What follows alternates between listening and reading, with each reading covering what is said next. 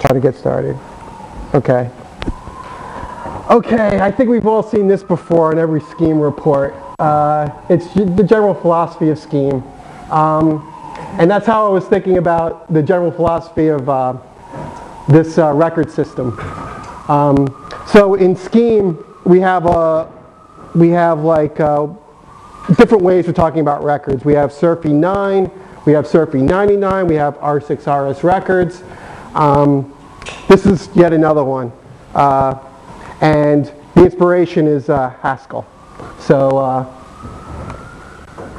so why did I choose Haskell? Okay, what I like about Haskell's way Haskell organizes data is that it's simple. It has, uh, I think, pretty nice pattern matching, and everything's immutable, which is nice. Um, the couple of things that I wanted to avoid in uh, mine, which is obviously make mutability a little bit harder to, um, you can do mutability, I'll show you later, but um, basically to avoid that. Um, and also, uh, I'm avoiding inheritance. Um, and I'm not going to get, to, I guess you can ask me later if you want to ask me why I want to avoid inheritance, but my, my philosophy of inheritance is that it should be encapsulated in functions and not in the data since it's a relationship. And relationships, I think, are best matched with functions. So I consider data just is. It's just a, a group of values put together with a label. Okay, so let's start from the beginning, right? So here's a simple one, right? We got a maybe, uh, just or nothing, right? So we'll start with the value constructors. Um, okay, so let me talk about data types how I organize them. So they have four basic parts. The first part is the constructor function, right? So we take a series of values, um, we, we organize them with labels, and we create some kind of object. Um, uh, and of course, we need a predicate to be able to uh, tell us if, um, if those, uh, you know, to be able to type those objects. So that's another uh, function. And then we have a deconstructor function.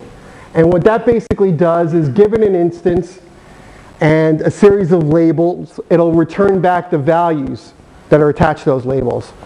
And the final thing, which is not so important but is useful, is um, type info. And really what that is, it's, it's, a, um, it's a way of uh, it, it, it's, it's a way of getting a metadata about a type. So for example, with a type, you'd want to know, like for example, what labels, what fields it has. Um, you can have other kinds of information. Uh, like in Scheme, you can you know, find out if it was sealed or opaque and things like that. So it allows you to uh, introspect in, into these types. So um, now, what does it introspect into? It says given a function. Oh, okay. So the way it works is uh, the way the type info works is that you, you pass it a function and then it calls that function with this information in the data type. Um, so it's just basically one function that does that. Uh, and usually you can figure out what the other values are by the first value, which would be some kind of like a symbol or whatever. So let's say you had different kinds of records uh, types that the thing might have been constructed from. You can kind of decide that. So the signature of this passes the metadata of that instance Yeah. into the function? Yeah, well, this, this type info is part of the data type, so it actually just takes one function and it tells you about the data type. Oh, okay, it. Tells the function. Okay. Okay, so this is what it looks like as a SRFI 99 data type. Um, so in, in my particular system, uh, I'm building this on top of uh, SRFI 99. And the reason I did that was um, I, when I implemented this, I implemented this in, in my R6 Gambit. And basically, I kind of unify all the um, various ways of defining records into one, uh, basically one API. And the API I decided to, to standardize on was SRFI 99. So this is built on top of, of that. So you can see here. SRFI 99 is, um, is basically a record system. Um, it's, um, I guess, uh, it somewhat has some a lot of features similar to uh, R6RS records. Uh, You can have sealed types, opaque types, generative types. Um, I, can I speak? Yeah, go ahead, you can speak. Yeah, all right. The, if, uh, the syntax layer is SRFI 9, not R6RS. Um, and there is a guarantee that the, um, that the type, the representation of the type is a runtime object, which is not true in SRFI 9. So what you get is, uh, rather than the R6RS situation where there may be uh, both, where where syntactically defined types and semantically defined types don't quite, or compile time defined types and runtime defined types have to be meshed. They are in fact the same thing in 99. The, uh, the syntax layer is, is truly on top of the runtime layer. I hope that helps. Yeah. Okay. What does So- the hash mean there? Um, That, this means that it's a, basically, it's, it's a vector, right? It's a vector of lists, right? So uh, this is just basically a label. It just says the type is immutable. So once you set it, then it, um, that's what it is. What? So the hash is just indicating that it's a vector type. Um, yeah, exactly. A vector literal, Yeah, it's a vector literal. hash letter. And what's the RTD? Okay, make RTD. Um, yeah, that's basically, it's a, it's a procedure that says make a record data type, type data. Um, I forgot what, type descriptor, record type descriptor. Um, so yeah, this is going to make a descriptor for the data type. So that's kind of like the, the type object. And then from, from in, in SRFI 99, uh, basically you can create other procedures to create constructors and um, predicates from that record type, that description of the type. Uh, Okay. So constructing data types. Okay, so basically, so I have a function, make data type, right? Um, because uh, everything's immutable, it's a lot easier to deal with because you basically say what the name of the type is and then uh, a list of uh, fields right? So in the, in, in the case of these values, I'm creating two, two value constructors. The first one is just and the second one is nothing. And uh, I have a nice macro that makes it a little bit prettier. Um, okay.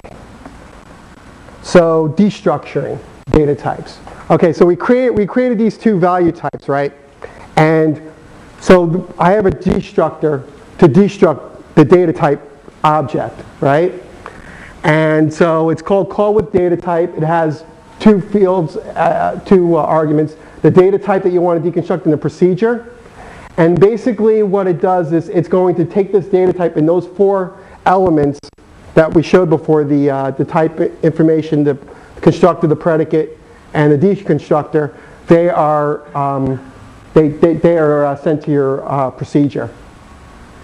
And you'll see why I'm doing that in a minute. So here's, here's an example of using that. Um, so uh, new, you know, create a new type. Um, so you can see here, this is the constructor, this is the type information, this is the predicate, and this is the uh, deconstructor. And I use these, um, I use single, um, these simple variables because it's a lot easier to uh, write it out. Uh, so that's kind of like, so we have that, you have instance of, you can see the same type of thing. I'm, I'm, I'm taking that type, I'm deconstructing it, I'm using the predicate and getting the, uh, you know, is, is that object of that type. Um, and you can see here an example of dereffing data, right? So um, we, we have an object, we, we tell it what type it is and uh, the fields. And what it does is it's going to uh, go through those, it's, it's, go, it's, go, it's going to um, deconstruct the type. Um, and then what we're going to do is we're going to apply the deconstructor to those fields. And what it'll return is the list of values that are in that object. And the list of values in that object we're returning. So that's all we're doing here. Um, so uh, one thing too is we're, I'm using a lot call with values, so it returns multiple values. Uh, we, there's a similar thing in like uh, Common Lisp. Uh, So, yes. is this in any way related to flattening the monad in Pascal? Um, I don't know, actually. I, I don't really think of it that way, but, uh, so, let's think about lambda in a different way, right? So in factor, right, factor has, um, has uh, functions that basically, their, their main call interfaces, they have a stack that they're either popping or, and pushing back values, right? Lisp, you can think of is, you can think of a, a, a lambda as taking one value, which is a list, which it deconstructs, and that's where you get your variables from, and then it returns back a series of values. So I took this idea and I, I applied that to types. So I have a type lambda, and what a type lambda basically does is it'll, it'll de- deconstruct data and return back um, values. So it's a kind of um, function. So taking that, I have a type lambda. So what this does, basically, you could think like when you, when, when you use lambda, right, it returns, that's a value. That's, that's a function that takes arguments and you get back values. This is very much the same thing, except that it has a um, pattern matching capability. So the main object you would get would be x, and then what it's going to do is it's going to check if the x is a just type, right, deconstruct it, so take, take the field A and then return it. Um, same thing with uh, nothing. So in the case of nothing, there's nothing there, so return nothing, or, or you can just say it's not supported, right? So it's going to go through each clause. Um, when it finds a matching clause, it's going to deconstruct the value, and then you can call your expressions um, on that uh, value. Okay? Okay, so this is what it expands into. So basically what it expands into, it expands into a lambda, and we're using this call with data type. The just is a, is a, is a, is a data type, and then what we're doing is we're checking if it's an x, if the x is a just, then, you know, uh, do this de- deconstruct. Um, Otherwise, it- it'll check uh, the next one, and it'll go down, it'll go down the list until your el- else clause, which is not supported.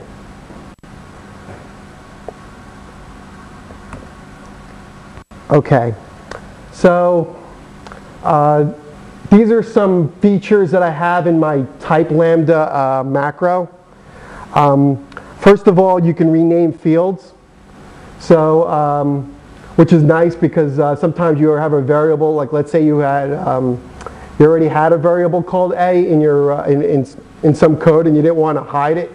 Um, or uh, some, something called y, so you can see here that we're saying um, the, the, the field y maps to the variable a, the field x maps to the variable b, and then we're just going to add them together.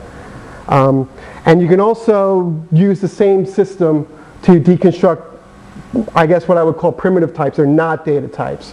But, um, I mean, they don't follow the data type library, but I wanted to use the same type lambda for these things. Um, so you can deconstruct hash tables and vectors. Um, it's pretty straightforward on that. Uh, similar idea. Um, you can destructure a list, which is basically just calling lambda again. So uh, if you have a list, you could say, okay, it has X, Y, Z, and then you can reverse it. And then you can also uh, do Booleans, right? So if the value that you put in the uh, type lambda was true, then it'll check that. Yes? One, three don't mean numbers one, three first line, components one, three of the vector. Yeah, exactly. So yeah, it would be like a vector ref of the first value, the vector ref of the third value. Um, and then you assign them to a variable and then you can use them. In the hash table, you have to know what the keys are in advance. Um, yeah. Yeah, yeah, you do, you do actually, uh, um, I'm, I'm not sure if I have it where it's, it, it, it, it treats that as an expression or not. I don't believe so. I'm not sure, but, uh, Yeah.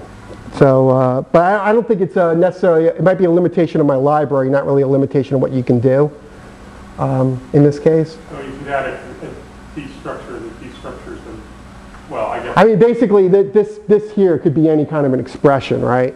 Yeah. It would evaluate, and then would go look in the hash table for that. Sure, but you can, for example, deconstruct it into a list of, a list of keys and a list of values. At least not with this. Yeah, no, yeah, it, it's sort of like treats a hash table more like a, like a record Yeah. in this case. Now, Yeah. in the list, that can be nested with the usual semantics. Um, actually, this is a very simple version. I'd like to make it like something like a destructuring list would be great. I just used, I, I mean, I, I put this in there, but it's really just uses Lambda again, so it's kind of useless. Uh, but it's sort of like a placeholder, because it would be nice to definitely destructure uh, lists uh, or cons as, you know, in, in a more destructuring list fashion. Vectors, vectors lists, Yeah, exactly. Um, and you know that's a solved problem, so it's just a matter of like kind of integrating that in there. But I, I didn't, I didn't do it for my particular library. insist on a three-element list, or would it discard elements beyond the third? Um, okay, well, what's happening actually with this is is that it's not, uh, it doesn't change the vector. It merely gets the values from the vector. So if there was no number three, it'll bomb Now out. for the, the next one, The structure. Oh, oh, oh, oh, that. Um, The answer is, yeah, it, co- co- it uses lambda, so yes in that case. on your scheme implementation. Yeah. Because it's using lambda and- scheme is undefined about what happens to extra arguments. Yeah.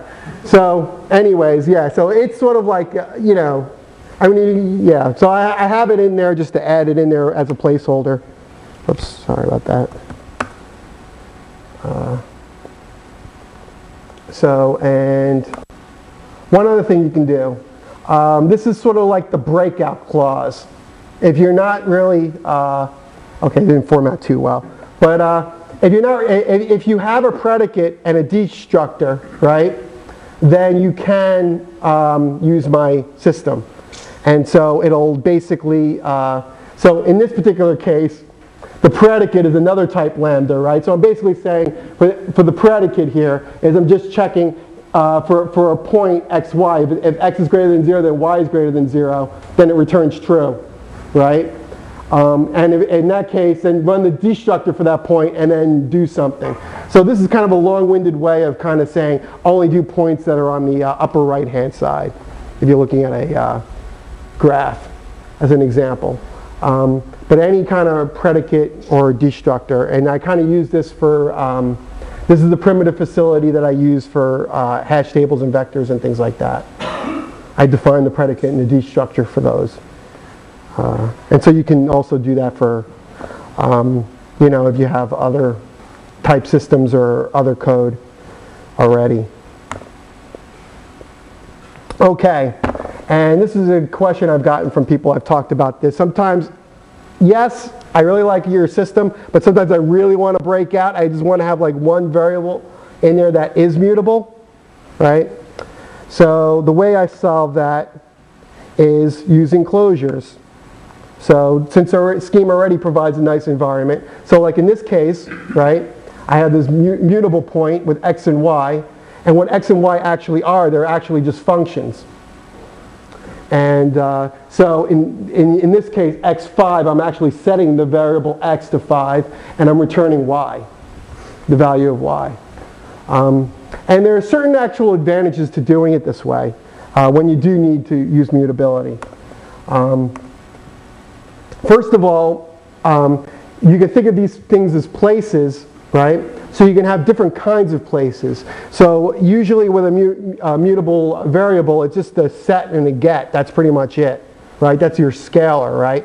But um, you, with functions, you can do a lot more interesting stuff. You can have vectors, you can have a LIFO variable, FIFO variable, stack variables. Um, and the other important thing too is that if you do have a uh, multi-threaded scheme, that you can also, you should, you, it also promotes um, specifying a lock policy for that uh, variable. Um, uh, how, how you uh, mutate it, you know, what, getting locks or whatever. Um, Okay, so let me talk a little bit about sum types here. Right? So what's a sum type? Okay. So we have this maybe, right? It's a predicate. And and uh, basically, so uh, the maybe predicate could be a just or a nothing, right? Or else it's nothing else, right? And then uh, we can say, like, in this example, when maybe x, right? We're, okay, I didn't go into type case, but let me explain what type case is. Type case is, a, is sort of kind of like analogous to what let is to lambda. So in the case of type case, is it's going to evaluate this expression, and then it's going to call this as a type lambda. Um, but it, it's implemented similarly to a let. So it's just a way of like decomposing a particular object if you don't care about um, having it as a uh, having having it having it as a function. Uh, is there any way of making the font a little bigger? uh, I'm not sure how to do that. I thought it was big enough. Are these PDF? What? Are these PDF pages? Uh, let's see, let's see if I can. I can I can just uh, see zoom in. Hey, zoom in, text only. There we go. Okay. You would say, Okay. So I think that's is that is that good enough? Can you see it? So that's your sum type, right? Now, um, of course, it would be nice if you had some syntax for that, right? And I already, okay, see, my, my thing got screwed up. But, whoops, okay, wait a second. But basically there is, let me, I have to make this smaller, sorry. Gotta unzoom it so you can see that. But, okay. So, so you can have a macro, define type, right? You, define your type as maybe, just a or nothing. And the way I implemented this particular macro is it's basically like, a, it's a type lambda, right? Except that it only allows certain types of clauses. So in this case, it only allows these two clauses, and this is what it expands into. It creates um, the data types, and then it will create the syntax for you. Um, so that's how I implement a uh, sum type. And recursive types are similar. The meaning of the maybe macro then? Uh, what the maybe, maybe macro is, it's sort of like a type lambda macro, except it's constrained, so it only allows certain clauses, versus type lambda, which is general, you can put any clauses you want. Okay. Um, so recursive types, very similar, except in scheme, um, we, uh, we use uh, predicates. So in this case, um, you define a predicate, uh, and, for the recursive types, I haven't actually figured out how to make a good macro for it yet. But uh, if you wanted to make a recursive type, um, now the thing to keep in mind too in Scheme is that none of the values in a data type, unlike in Haskell, where there are, they are, it's like a type tuple. These are all untyped. So the, basically, um, when you call your tree predicate, it'll, it's going to go through the, it's going to go through the nodes and check that they all match that predicate. Just the way, similar to how like a list uh, predicate works in, in Scheme. Um, so in this case, um, it'll create this, uh, you can create this predicate and then you have your recursive type. Um, so you can check if it node's a tree, then uh, it follows, it, that predicate will return true. Okay, so let me get into uh, type classes. Um, so the way you can think about type classes is that basically it's a set of functions that can have different implementations depending on the type of data. So let's examine a very simple one. Um, so I'm going to use EQ as an example, right? So, okay, so we have our type class, right? So its name is EQ. It has um, one parameter, which is type. I just called it that. And then we have one function called equals. Right? So that's the example that we're going to use. Okay so what do we also need to implement type classes? Okay, we need a constructor um, to create instances of the type class, right? And except these instances are never actually returned. Uh, rather, we call the constructor for the side effect. So in the background, we record that you've called this constructor, and we'll use that later. Um, we also need a different kind of predicate. Um, so we need a predicate where, uh, given an object, it'll return true if we've constru- if we constructed using that type for that object. So in other words, um, if I created a EQ for, for point, right, and I pass it an actual point instance, it'll check, I, I, do I have a construct, did you ever call the constructor for point?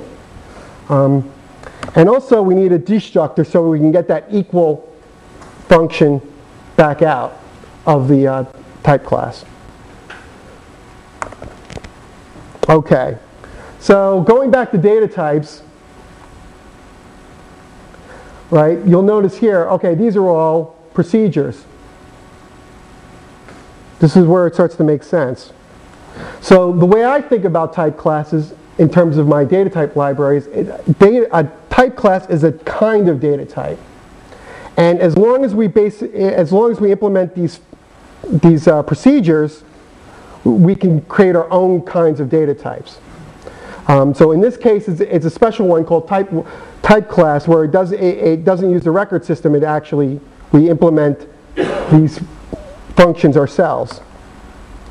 So I, I know this code's a little bit hairy, it's hard to read here, but uh, I'll explain it. Uh, so this is a, um, is a functional way of making a type class, right? So we have the name, the type params, and the fields.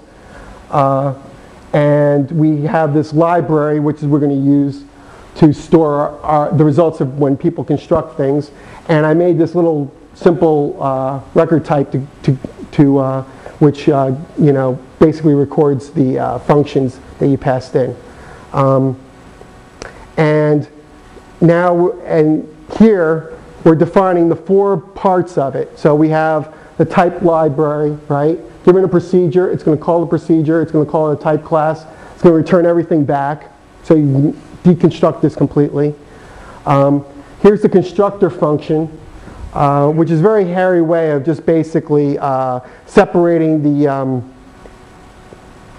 uh, the, the, the, the, type parameter that you pass in and the, uh, the action, and, and the equals fields, right? Um, and also we have uh, a way of checking that these instances are of that type. So I'm using that library. Um, so I have that as associated lists and uh, I um, uh, basically I, I, check if it's uh, if, if, someone's called that constructor with those uh, types. And then a deconstructor which will call it on the action, instead of calling it on the object, it's going to call it on the, uh, on, on, on the uh, type class and give you back those. Okay, so basically my data type library, it's a simple, extensible, extensible way of handling values. Uh, it allows you um, uh, so the same structure that I have can handle data types as well as type classes, um, and maybe other types of uh, things. And uh, I use macros to make it a little bit easier to use and, and uh, aesthetically pleasing. And because I'm using lambdas, I'm able to do all this. Um, and so you can find my you can find the slides for this presentation here. And uh, I have my code, which is that library. Um, and the code's in the public domain, so you can kind of do whatever you want. Um, or else it isn't, depending which lawyer you ask. Yeah. I'm claiming it's in the public domain, so I won't sue you for it. I promise I won't sue you. Oh, good. Um, and my, my particular things uh, is, is, dependent on R6 Gambit. In particular, I have a very um, I have a low-level de- destructor which uh, goes into Gambit's types and de- destructs the uh, value. So in, in, if you wanted to put it, make it purely standards-based, you'd have to uh, do that yourself. Uh, Okay, that's it.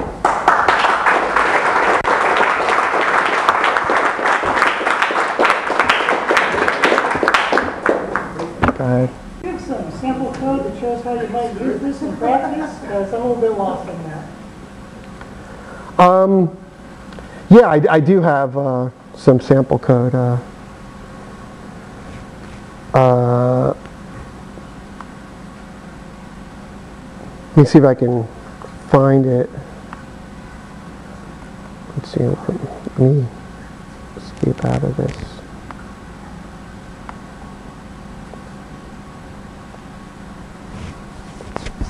Okay.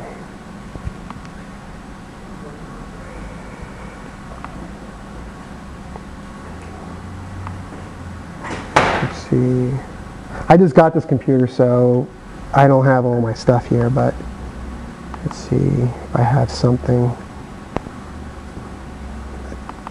I think I.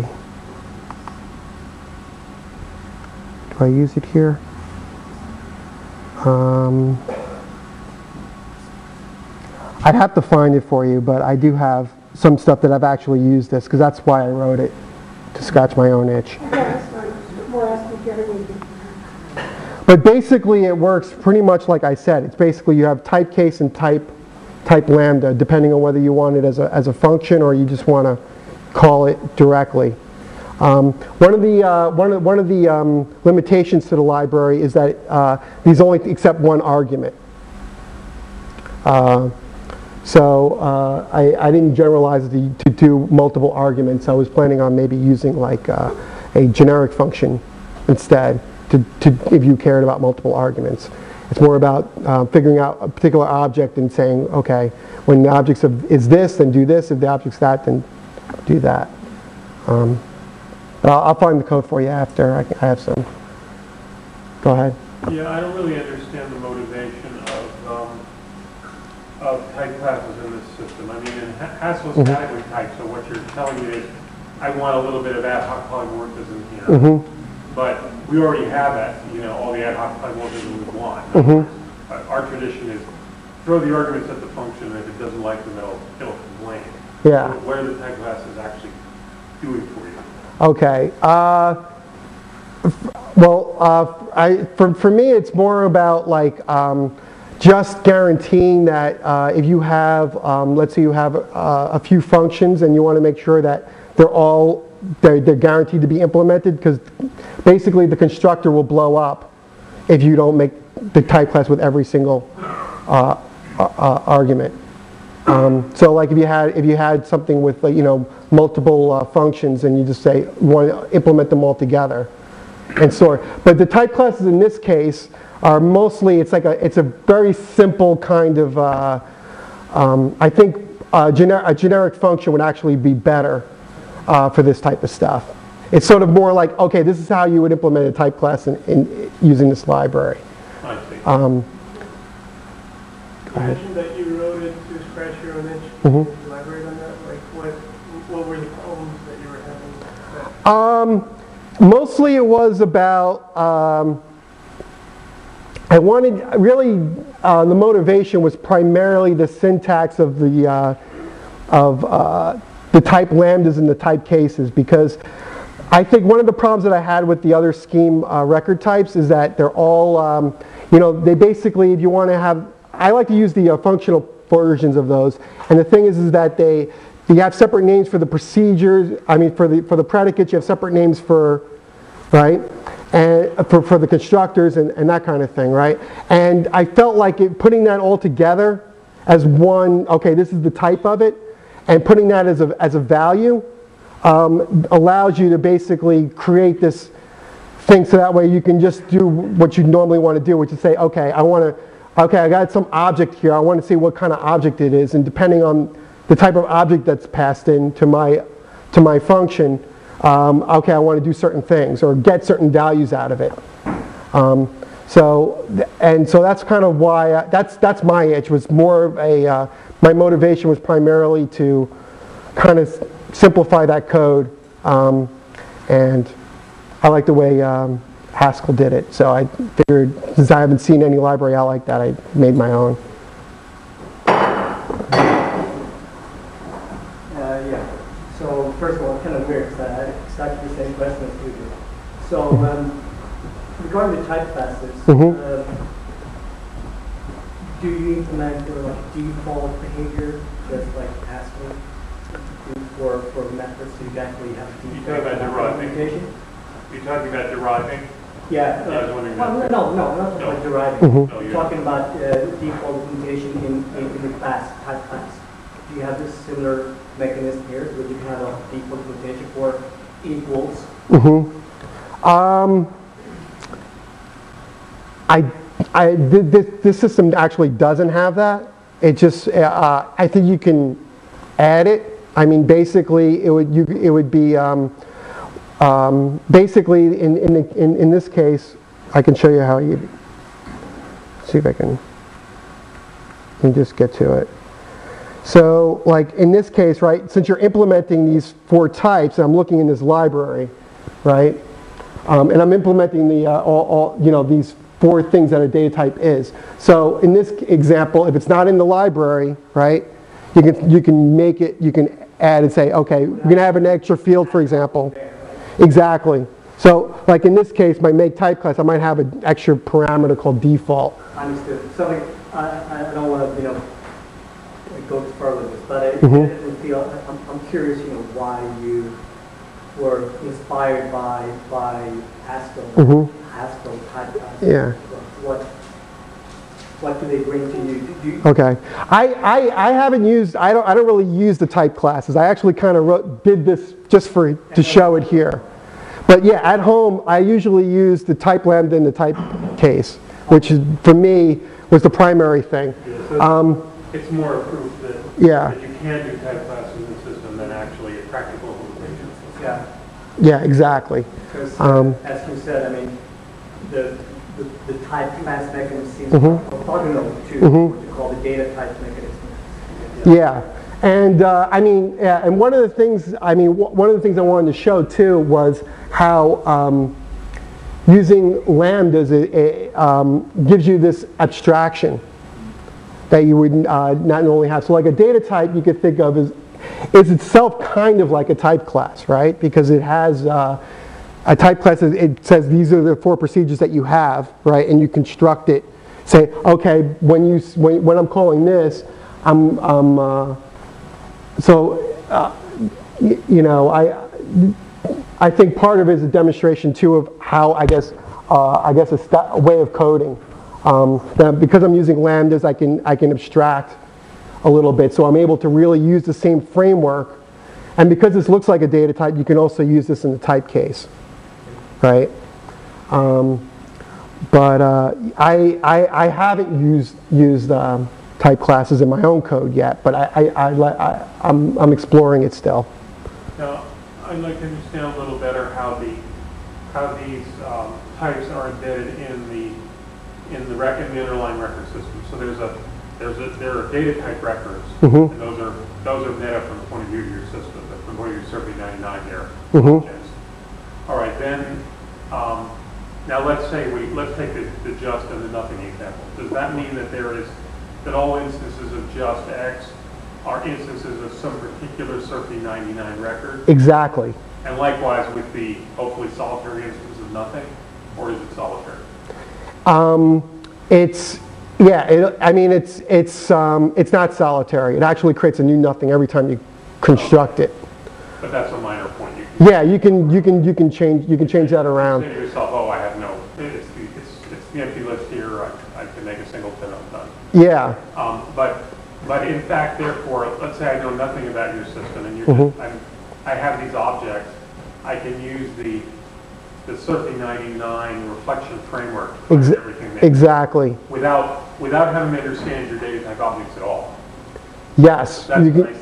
Yeah, exactly. One of, one of, one of my uh, design goals with this was to interoperate with existing records. So like in, in the case of R6 Gambit, we have four different types of, I mean, they all go into one record that Gambit runs, but Gambit has their macros. SRFI 9, there's that macro. There's SRFI 99, right? There's R6RS Records, which is also, I also implemented, and then this is another one. So the thing is, is that you have the, so I have potentially libraries that are using a lot of different, one library is using one syntax to create records, another one using another. And so one of my goals was, for example, one of the things that you can do is you can take an RTD and create a data type out of it. Like there, like the, I'll show you the way it's implemented. Um, uh, I have a function that turns any record type into it, a data type, which is primarily what the, what the data type thing uses. Um, so this is kind of, you can kind of think of this as more of a, surface syntax in this particular implementation. But it's certainly possible to also, if you were writing your own scheme and you didn't want to care about these other records, just to make this a primitive type of thing. You only really need to implement these four functions. How you implement that, you know, how, how it stores the data is not really that important. You can also just use um, disclosures themselves if you didn't even have records, any kind of records. You can just, using like this kind of methodology, um, sto- store that. So you, it's possible to do it that way as well. Pattern match on the procedure type. if you do Yeah. Yeah. That's the problem with Mm-hmm. procedures and records. You, you get a, you get a procedure, it's not a record procedure. Yeah, ex- exactly. I, yeah, I haven't actually tried to implement this with, uh, with just function, you know, just uh, without, without records. Uh, so, okay. This, this is the detail of this slide. What would library be if it's not an empty list? if it's what? If it's not an empty list? What would library be if Oh, it wasn't? Library there. Okay, well, well, what I'm actually doing is it's, it's, a, it's, a, it's a storage point because these are actually clo- closing that variable Ah, because they're sharing. So the predicate, the predicate's going to look at that and is going to look up values. The destructor is going to look up the, uh, the, you know, to get the functions, right? For, so when passing an object of a certain type, it's going to get the functions for that type, and then say that's the equals you need to do in order to for, for that particular object. Um, so that's the purpose of it. So when does it blow up if the function is not defined for this instance of the type class? Um, well, basically, the constructor, you have to pass in all the values, otherwise it throws an error. And that's built into the uh, underlying record syntax.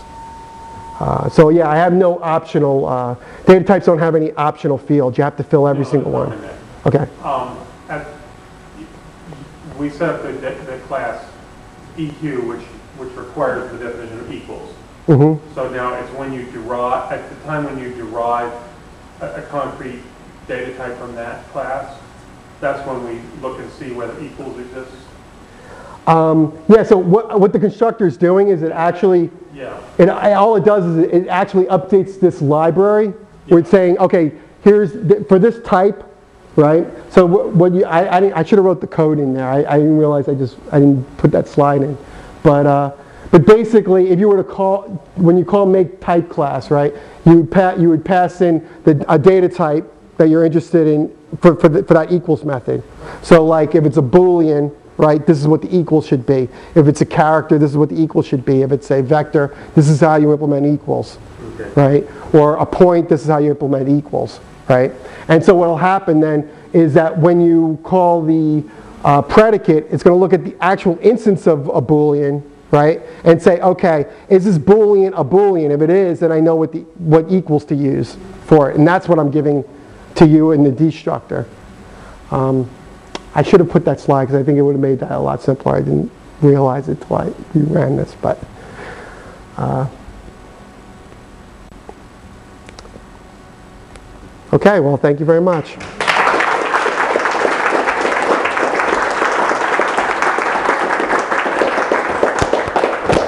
Great. Uh, Again, thanks everybody for coming.